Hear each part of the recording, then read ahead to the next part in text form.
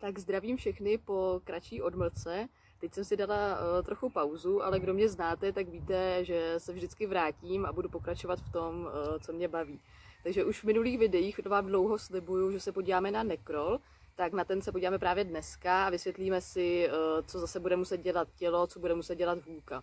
Budu se asi opakovat, ale opět u tohoto rolsu, jako u ostatních rolsů, je opravdu důležité vaše tělo. Takže než půjdete na hůlku, tak eh, si musíte ujasnit, v jaké pozici celou dobu vaše tělo musí být. Musíte si ujasnit, co dělají nohy, jak držíte eh, ruce, záda, hlavu, co dělá hlava. A tohle všechno si musíte ujasnit, než vůbec půjdete na tu hůlku. Jo? Takže půjdeme krok po kroku a všechno si vysvětlíme. Ještě bych dodala, že nekrol eh, je celkově hodně náročný prvek. Jo? Z těch rolsů je to jeden z těch nejnáročnějších prvků, když pominu ještě Monster Doll. A e, teď, co vám řeknu, tak zase se to nenaučíte hned. Jo? Bude to trvat e, dlouho, budete muset trénovat opravdu. Ale důležité je pochopit, jak to trénovat. Takže to vám dnes vysvětlím. A když to budete trénovat opravdu e, velmi často, denně prostě, tak čím víc to budete trénovat, tak tím dříve se to naučíte. Tak jo, tak se na to pojďme podívat.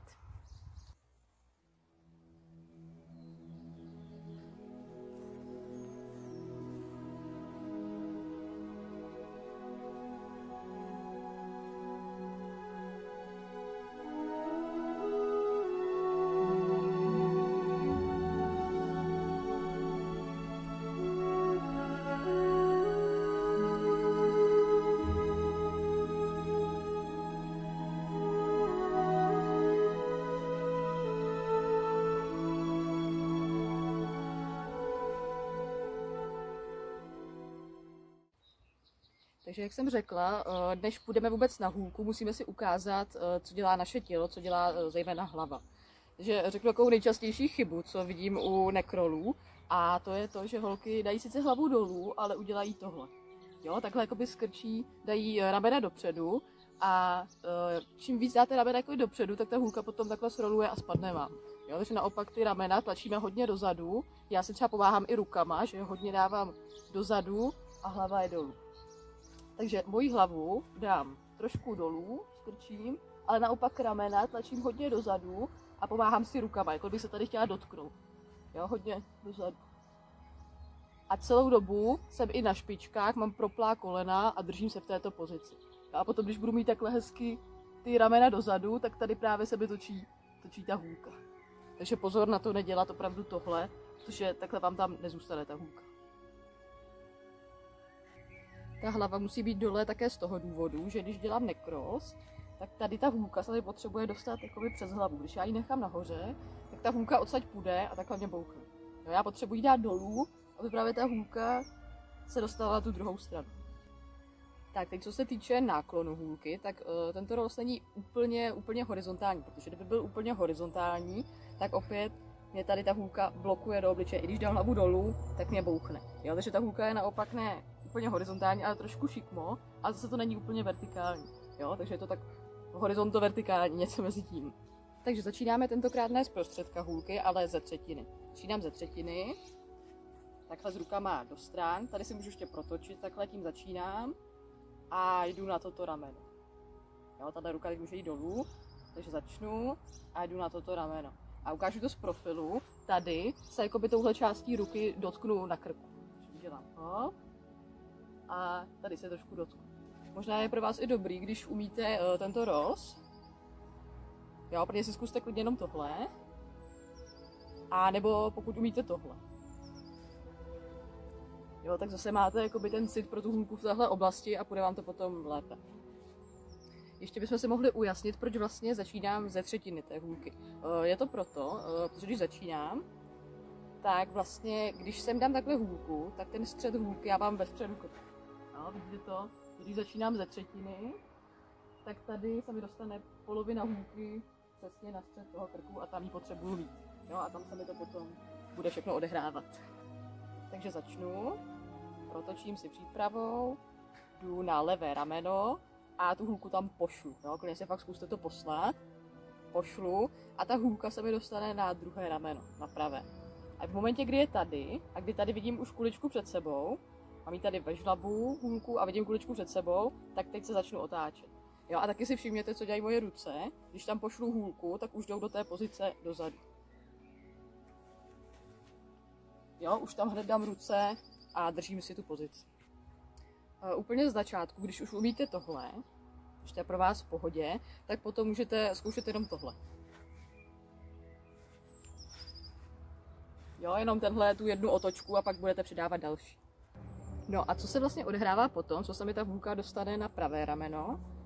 Začnu, pošlu tam hůlku, ta se z levého ramene dostane na pravé, vidím koncovku, začnu se otáčet a jdu jakoby šikmo dopředu, doleva. Jo? Že půjdu, ruce už mám jakoby takhle vzadu a teď ta hůlka, musím dát hlavu dolů a ta hůlka první pohyb, co udělá, jde přes tu hlavu a dostane se na levé rameno zpátky. Jo, takže klidně zkoušejte opravdu jenom tenhle pohyb. Takže v momentě, kdy už umíte tento prvek, tu první otočku, tak pak už ta hůlka dělá uh, vlastně to samé. Vždycky se dostává z jednoho ramene na druhé a vždy se jakoby pře, převalí přes hlavu. Jo? Proto musím mít tu hlavu opravdu dolů. Takže udělám začátek, začnu, jednou se mě přetočí, začínám se hýbat a teď, když to mám zase tady zpátky, tak budu dělat to samé. Jo, a pak pořád takhle chodí hlavu. Jo, a ta oblast, kde se ta hůlka celou dobu vlastně točí, tak je to jako když máte třeba tílko, tričko, tak tam, kde vám končí tílko, tričko, tak takhle tady na krk. No, tahle oblast, tam to všechno je. No a co je důležité taky, eh, je pohyb těch ramen. Protože vlastně těmi rameny, když já jsem takhle, tak si trošku pomáhám. Neříkám, že se úplně hodně, neměla bych se vůbec takhle hýbat tělem ani rukama, ale trošičku vždycky tím ramenem si tam pomůžu a tu hůlku tam trošku hodím.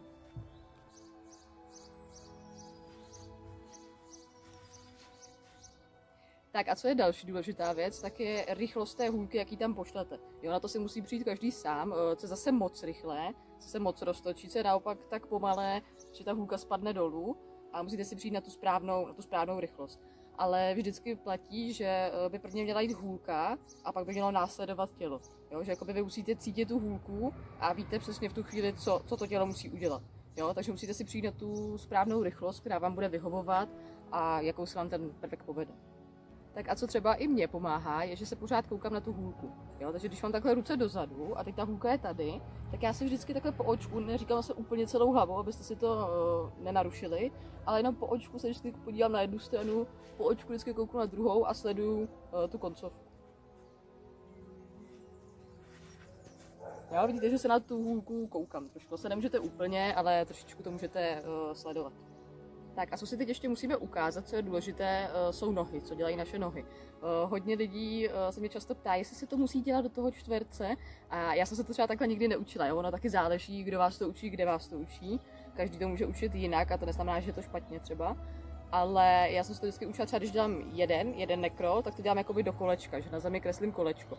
Když potom dělám víc nekrolů, tak jsme se to učili, učil nás to francouzský trenér tak, že vlastně jdeme šikmo dopředu, doleva, pak děláme takový oblouček vepředu a potom, když doděláme ten oblouček, tak se zase šikmo vracíme zpátky. Takže jdeme jakoby šikmo, půlkruh a zase šikmo zpátky.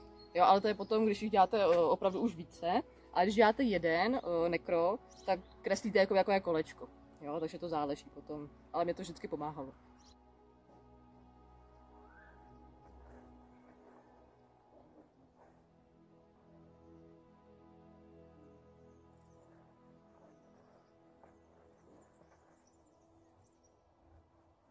Takže začínám, že vykročím levou nohou šikmo dopředu. Druhá následuje, proplá kolena na špičkách. Tak, teď jsem natočená jakoby šikmo, šikmo dopředu, do rohu. Teď odsaď pokračuju, levá se jde první a přetočím se jakoby šikmo na druhou stranu. Potom je to pořád to samé. Jo, a kreslím jakoby takové kole. Tak a teď ukážu právě uh, tu častou chybu,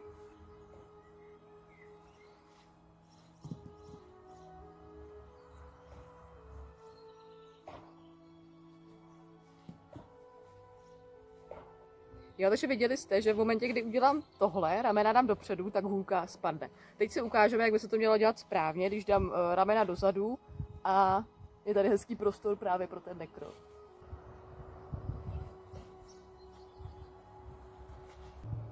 Tak jo, takže to jsou ode mě asi eh, všechny typy na nekro. Eh, opravdu si dávejte pozor na to tělo. Hlídejte si, eh, jak máte nastavená ramena, kam míří ruce, že opravdu musíte tlačit dozadu, co dělá vaše hlava, že musí být dolů. Jo, ale opravdu nejdůležitější je tahle oblast. Právě tam, kde děláte nekro, tak to opravdu musí být úplně krásně, krásně propleje a dotažené až do konce.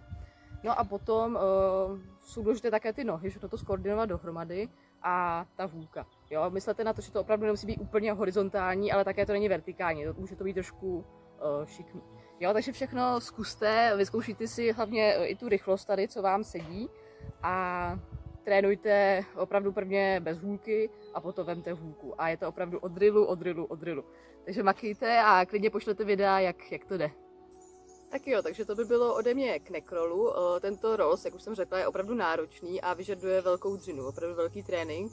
Takže uh, projděte si má videa klidně několikrát a trénujte krůček po krůčku. Jo, se nechvátejte, protože když budete chvátat, tak zbytečně něco uh, urychlíte moc a nebude to úplně technicky správně. Jo, takže uh, jděte si pomaloučku, každý individuálně podle svého tempa a makejte. No a příště teda uh, se můžeme podívat na ten Monster Roll, který už je uh, asi nejtěžší roz, bych řekla možná. Uh, když chcete se naučit Monster Roll, tak uh, musíte mít zvládnutý právě tento prvek. Jo? Takže musíte umět Necroll a potom se můžete posunout na ten Monster Roll. Uh, co se týče Monster Rollu, tak já jsem už video na Monster Roll natočila, ale točila jsem ho jakoby do zahraničí, takže je to zatím v angličtině s anglickými popisky ale já to asi nebudu točit úplně jakoby znova, ale zkusím přemluvit nebo přepsat prostě do češtiny eh, to, co tam píšu, to, jak to vysvětluju. Jo, takže byste měli jakoby v podstatě anglické video, ale pokusím se ho nějak hodit do češtiny. Jo, takže to bych zveřejnila uh, po nekrolu. No a teď si klidně můžete psát, jestli chcete se nějaké další prvky, tak klidně napište a zase něco natočím. Tak se mějte hezky a trénujte.